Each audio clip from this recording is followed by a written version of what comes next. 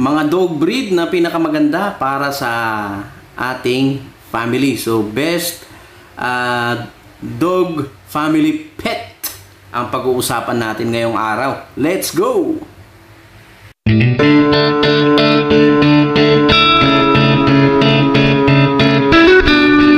Ayan, so magandang araw sa ating lahat mga kahapi. So, nice to see you all. So, ito ang pag-uusapan natin ay syempre itong mga best dog breeds daw for kids and best family dogs. Ayan. So, bali ang uh, sources natin dito ay syempre ang website ng American Kennel Club. So, updated daw ito noong March this year. So, ito yung mga best uh, family pets. Family dog uh, dog breed pets. Yan. So, pag sinabing pang family, normal kasi yan, yung kompleto. Siyempre, yung may, uh, may nanay, may parents, may mga anak, tapos kahit meron pa mga lolo, lola, kasama sa isang family. So, ano daw yung mga pinaka-the best na mga lahi ng aso, mga dog breeds na pang family. So, yan. Una sa listahan nila ay ang Labrador Retriever. Yan. So, kung makikita ninyo, yung itsura ng Labrador, yan o, yung nasa taas ng aking ulo. Yan, Labrador Retriever. Uh, maganda rin actually itong Labrador Retriever. Sa Pilipinas, marami din ito eh. Kaso nga lang, uh, ang problema kasi sa atin, ano, yung parang nagda-downgrade yung quality. Di ba? Kung minsan, yung mga, lalo na yung mga mahilig maghalo, mag-mix breed. Yan, ang nangyayari tuloy, kung hindi nakukuha yung tama na itsura, uh, sasabihin nila labrador, labrador, lalo na pag binebenta sa inyo, tuta pa lang. Tapos paglaki pala, wala. Ano lang din, hindi siya puro, askal lang pala. Yun ang problema sa labrador kasi marami siyang kahawig na na mga aso natin dito sa Pilipinas, mga askal, 'di ba? So, o aspin. Yan. So, yun, medyo ingat-ingat. Pag kayo bibili, dapat talagang siguraduhin niyo na kung bibili kayo ng Labrador Retriever ay yung mga legit at saka mas maganda pag makita nyo talaga in person yung nanay tsaka tatay kasi pag nakita ninyo wala kasi mag-research lang kayo kung ano bang itsura ng Labrador Retriever tsaka yung mga videos makikita nyo eh pag yung sa lalo na pag mga sa ibang sa ibang bansa napakaganda tsaka malalaki malulusog ba ayun so ano bang distinguish nila sa ano sa Labrador Retriever sabi dito The Labrador, the Labrador Retriever is the most popular dog in the United States. O, di ba? Ito pala ang pinakasikat sa US. The breed is friendly, patient, and trainable. Ayan, so madaling matrain, patient, so may tiyaga, friendly, ayan, so mag pala kaibigan. So the breed is extremely versatile, yan, versatile, so maraming pwedeng gawin.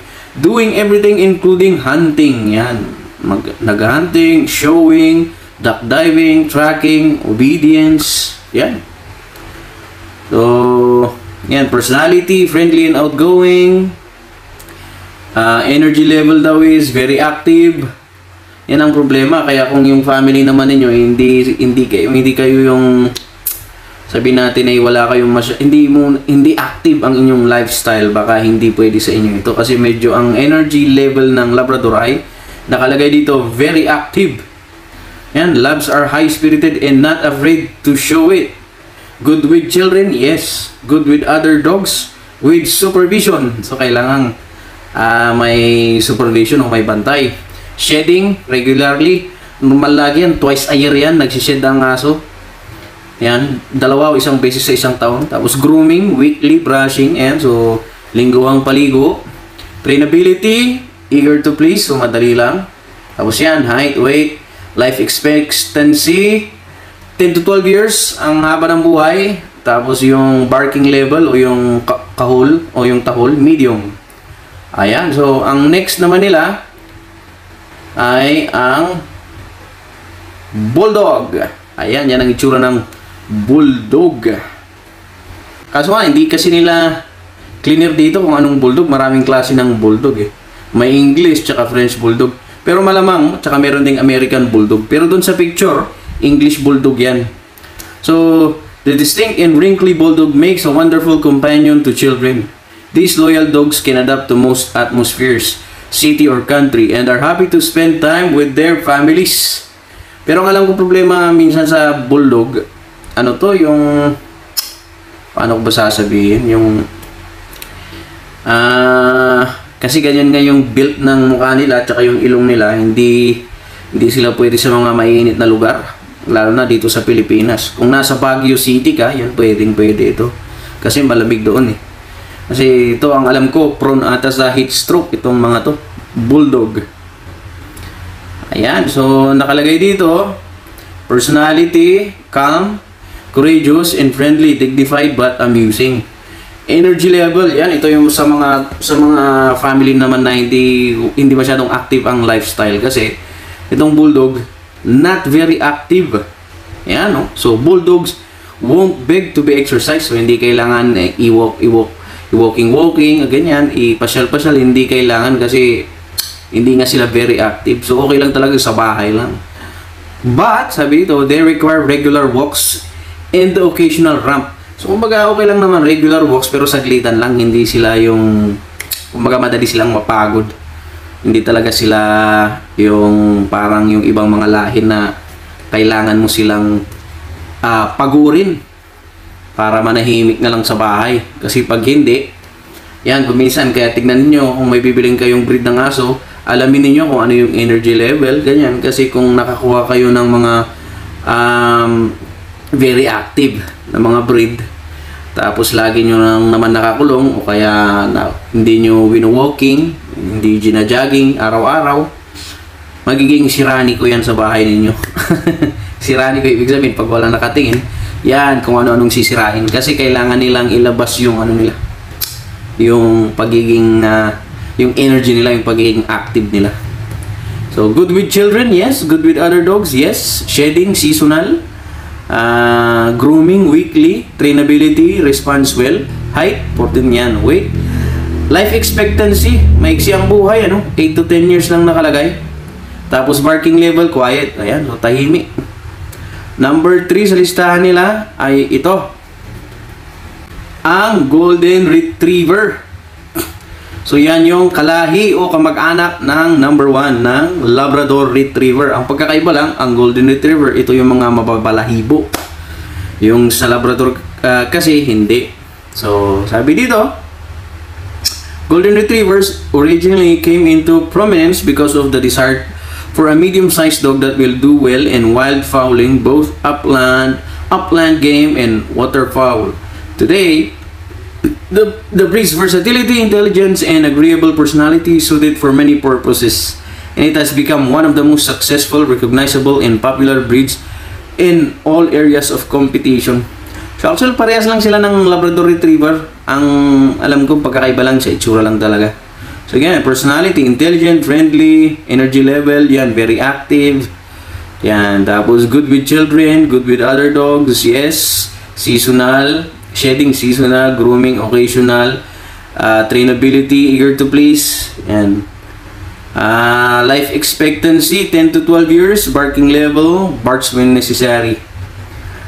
Yun. Ang number 4 nila ay ang ito, Bigo. Beagle. Yan, so alam na alam natin yan, Beagle. So, the actual Beagle, origin of Beagle seems to be obscure with no reliable documentation on the earliest days of development. Their compact size, short, easy to care for coat intel and intelligence make the Beagle an excellent family dog. So, okay rin to. Ah, hindi ko, wala akong masyadong ma-share dito kung, kung ditong nababasa lang kasi never pa ako nagka-Beagle. Yan, so personality, merry, friendly. Energy level, active din. This quick, energetic, and compact hound dog needs plenty of exercise. Ayun, so kailangan ng maraming exercise daw. Good with children, yes. Good with other dogs, yes. Shedding seasonal, weekly ang grooming. Trainability, response well, so madali ding i-train. Ah, life expectancy, 10 to 15 years. So medyo mahaba-haba ang buhay kahit paano, 15 years. Uh, barking level, likes to be vocal. Ayan, so medyo maingay daw pala ito. Ang next nila ay ang Siyempre, ito, meron ako na to. Dalawa. Pag, number 5. So, yan, si Pag. So, the Pug is well described by the phrase multum in parvo, which means a lot of dog in a small space. He's a small but requires no cuddling, and his ano to, roguish or ruggish face soon wiggles its way into the hearts of men, women, and especially children, for whom this dog seems to have a special affinity. His great uh, reason for living is to be near his people and to please them. He is comfortable in a small apartment or country home alike, easily adapt also to all situations. Ayan. So, ang maganda kasi dito, small dog siya. So, kung kayo yung mga nakatira lang sa mga apartment, kaya kahit sa boarding house, so hindi ganun kalakihan ng bahay ninyo, bagay na bagay sa inyo, ito. Tsaka hindi ito masyadong ah, malikot. Well, may pagkalikot ng konti, pero hindi ganun. Tsaka mababait. So, sabi dito, personality, even tempered, charming, mischievous, and loving. Energy level, somewhat active. Yan. So, sabi ko, medyo may pagkalikot. Pugs are not exactly natural athletes, but they do have strong legs and endless curiosity exercise both regularly. Tsaka maliliit lang ito, so in konting exercise lang, okay na. Good with children, uh, better with supervision. Yan. Good with other dogs, with supervision. Yan. Kasi kung minsan, uh, medyo may pagkasutil.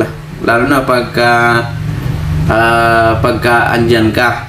Uh, lagi niyang sinusutil yung ibang mga lalaking aso. Parang yung askal ko na si Lucky. Pag doon ako, lagi niyang sinusutil. Kaya kung minsan, nagagalit yung isa. Pero pagka walang tao, tahimik kasi alam niyang pag ah, nagalit yung isa, wala siyang binatbat. kasi maliit lang siya. yan, so shedding regularly, yan, grooming, weekly brushing, trainability, agreeable, yan, pwedeng i-train. Ah, life expectancy, 13 to 15 years. Tapos barking level, barks when necessary. Ayun.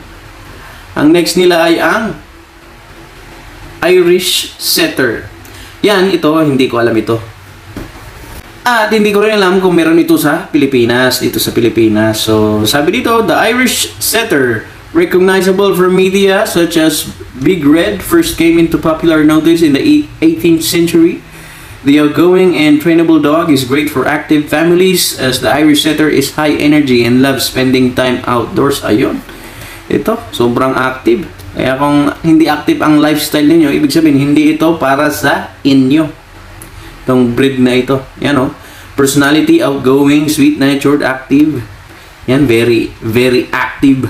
Good with children, okay din naman. Good with other dogs, yes.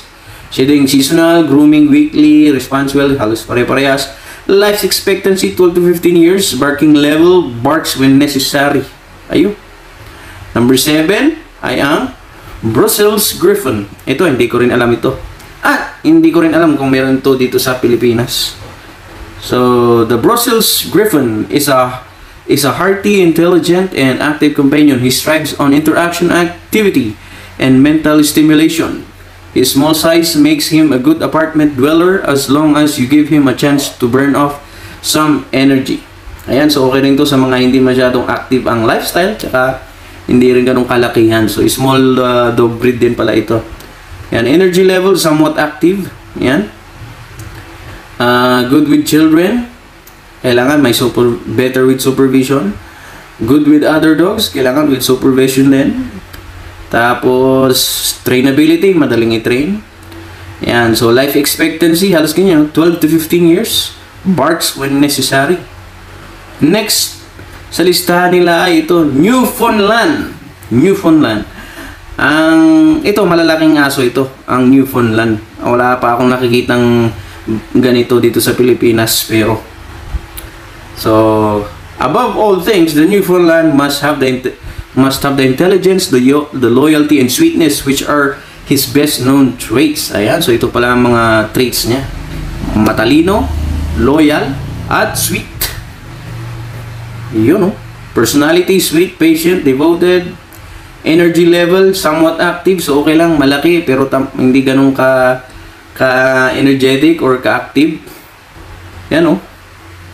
Tapos, good with children, good with dogs, yan. Ah, trainability, easy training, yan. So, matalino din ito. Life expectancy, 9 to 10 years. Yan ang problema kasi talaga pag mga malalaking dog breeds. Maiksi ang buhay. ng mga large dog breeds. Ang next nila ay ang, wow, ang isa sa pangarap ko din sana na magkaroon ako nito. French Bulldog. Yan, itong nasa taas ko. French Bulldog. Parang pag lang ito, kaso mas malapad ng konti. Tsaka, yan yung itsura niya. Parang bully, pero mas maliit. So, French Bulldogs are one of the world's most popular small dog breeds. Yan, so isa sa mga pinakasikat daw na small dog breeds. Especially among city dwellers, lalo na sa mga nasa syudad daw. The easygoing and adaptable breed is great for new families and responds well to training. Ayan, so madaling i-train. O sa mga bagong family. Personality, playful, smart, adaptable, irresistible.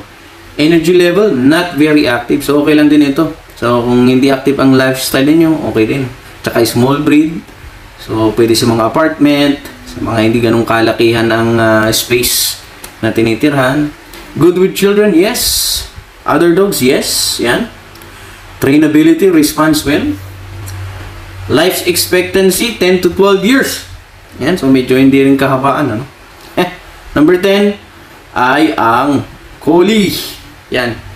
Ito, madalang ako makikita dito sa Pilipinas nito kasi kuminsan, minsan ito medyo mapagkakamalan din kasing askal ito pero kasi maraming klase ito eh. May itim, may combination ng black white, brown white, mga ganyan. Ang Collie. Tsaka marami ring klase ng Collies talaga. So kung yung napanood nyo yung movie na Lassie, yan. Collie din yan. Tsaka yung nakikita nyo mga sumasali sa competition ng mga yung mga ng mga aso na yung pang pangmatalinuhan yung combination ng black and white ganyan. Kasi ang build nito parang mga askal. Pero ito ang alam kong pinakamatalinong dog breed sa buong mundo. Kalaban niya ang ano ang poodle. Pero ito ito talaga ang alam kong pinakamatalino. Maaring mali ako baka may bago na ngayon pero ito talaga ang pinakamatalinong lahi ng aso. So sabi dito, collies are legendary for their herding skills. They are strong, loyal, affectionate, responsive, and fast. A collie would be best suited for an active family as they are high energy and love to move around. Ayan, so, so sobrang active naman. Personality, graceful, devoted, and proud. Energy level, very active. Collies are active. Yan. Kailangan ng exercise. Good with children. Good with other dogs with supervision. Yan. Trainability, responds well. Height, uh, life expectancy, 12 to 14 years. Barking level, maingay, likes to be vocal, sabi. Ayun. So, ayun. Yun ang mga ano nila, wala nang, uh, wala nang ano, wala nang, uh, wala nang iba. So, sampo lang yung meron sila sa listahan nila, ano? Meron silang 10 na uh, Uh, at least natutunan tayo sampung pinaka okay na pang family pet.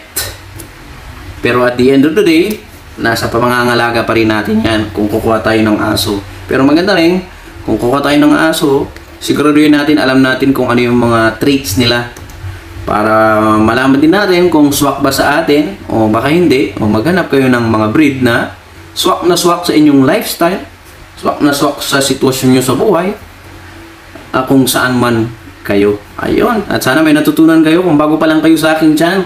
Please do not forget to like, share, comment, subscribe. See you sa sunod nating mga videos.